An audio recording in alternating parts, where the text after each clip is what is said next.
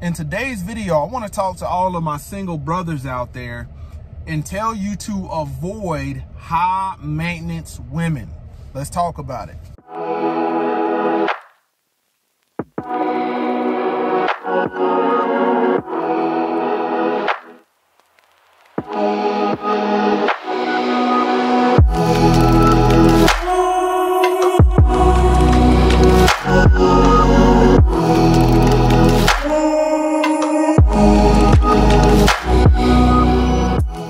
Praise to the Most High Yah Shalom. Thank you for tuning in to another Righteous Spirit episode. Today I'm back at it in them trenches, handling that kingdom business. Man, when you read about in the word and it talking about a man that does not provide, you know, for his family, especially his relatives, is worse than an infidel. That provision that a man provides is focused and centered around necessities. Okay, does that man provide food? Does that man provide uh, a shelter? Does that man provide, you know, medical attention? Does that man provide uh, clothes on your back? That's necessities. You know, as a man, if you choose the wrong woman and you have kids with her, that woman is going to deplete the inheritance that you are trying to uh, leave for your children's children.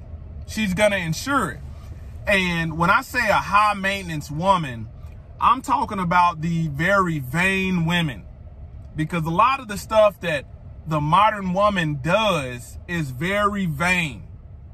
You know, there's some women out there to where they don't appreciate uh, and they're not as confident in their natural state with just basic hair products, you know, wearing their natural nails, you know, wearing their, their natural hair. They're not comfortable in that. They're not confident. Actually, a lot of them are very insecure. So what does that mean? You want to avoid the women that, okay, these women want to go get weave put in their hair you know, uh, the top of the line fake weave, top of the line vanity put in their head. They want to get it put in there by the beautician everybody's going to and charging the most. And here's the thing, when I'm breaking down this vanity, women will outright tell you that they want the freedom to be able to work a job and, and, and have a career but they want you to front all the bills and all the financials and them keep their money to themselves. And there's nothing, there's nothing wrong with a man being that 100% provider, but you have to make sure that you are not choosing an extremely vain woman because your provisions as a man is only gonna go so far. You see what I'm saying? Uh, an extremely vain woman could be uh, a woman that, you know, puts on makeup. You got to think about, you know, you got women out here that it is their daily routine uh, to put on a face full of makeup to go work at McDonald's, to go work at Walmart. You know, uh, I got to have my nails done. I got to have my feet done. And it's not like they going to go get a clear coat or some pop. No, they ain't going to get that. They going to get fake nails, fake toenails, diamonds embedded on. You have to avoid hitching yourself to these vain women, high maintenance women. They will suck you dry financially. They will destroy an inheritance. You got women out here that think that they're good mothers because they put their kids in name brand clothes. Being a good mother is not uh, involved in that? Does your, does your child have properly fitting clothes? Does your child have shoes? This is the basics of provision. You got to understand, man, you got women out there that's too good to drive a Toyota Corolla with no kids. A man will say, man, I can provide you this Toyota Corolla and you can ride around this. It's got Bluetooth, it's got a radio. Some women feel like they're too good for that. They want you to provide them a Mercedes.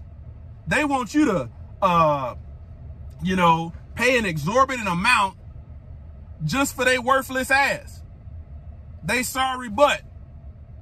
I'm telling you, you got women out there that will, you know, nickel and dime you dry with their vanity. When you start looking behind the vanity that women like, you know, uh, these women always wanting to buy more clothes and all of this nonsense. Man, they be wanting you to swipe for it as a man. These modern women are telling you, we don't want to spend our money. And they want you to be, uh, you know, slaving to take care of their vain self. And what I'm telling you is there's women out there that don't operate like that, but it's not common. It's not your average woman. Your average woman is very vain and they don't even see how vain they are.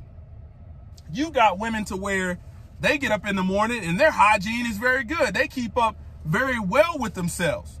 And then you have the high maintenance women that think the vanity and this high maintenance stuff is taking care of themselves. There's women out there that can use basic hair products, maintain their natural hair. You got some women that will file and do their own nails. You know, you got some women that uh, don't even like to put on makeup. These are the women that you want to hit yourself to. These are the women that you want to uh, vet and, court.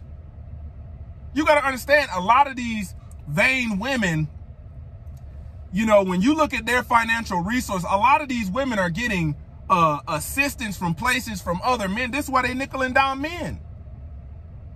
You got women making $30,000 a year, you know, got dead out the yin yang, but want to go to the mall and buy MAC makeup, want to buy top of the line weave, want to go spend $150 to get her nails done, want you to pay for it.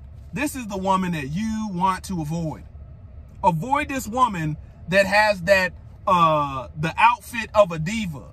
You know what I'm talking about? The hair, the nails, always got to try to impress people that don't uh, pertain to their life or have any influence in their life. A lot of men get get a lot of men get caught up because they lay down with a, a high maintenance woman and think that this woman is all of a sudden because you can't support her high maintenance lifestyle. Uh, they think that she's going to be frugal all of a sudden. No, you just planted a seed and you know, a basic pair of shoes that you get from rack room shoes ain't to be good enough for that child. If she has the child, she's going to want an exorbitant amount of money. And this is where I'm telling you, like, you gotta, you gotta quit looking at all that vanity as a man and, and being attracted to that. You're falling right into a snare. The Bible says vanity is worthless.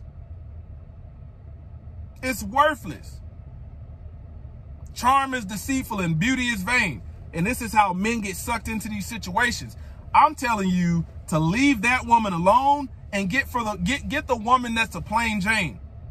Nine times out of ten, the woman that is a plain Jane and is not as vain is potentially gonna have a a, a, a, a more feminine spirit than a lot of these high maintenance, masculine women. Closer to Yah ministries, kicking that thing, gun barrel straight. Wow.